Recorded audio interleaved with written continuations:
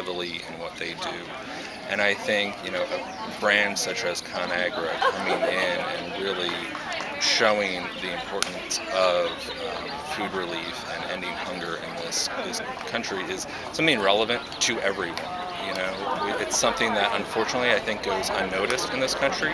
Um, we hear all the time about the need to feed people overseas and in developing countries, which of course we have that responsibility, but we forget often that there are people right here in our own neighborhoods, our own communities, that are hungry and need that same attention. So I, I really applaud Dana and ConAgra for getting involved with America to make a difference and shed some light on the fact that people right in our neighborhoods need some help.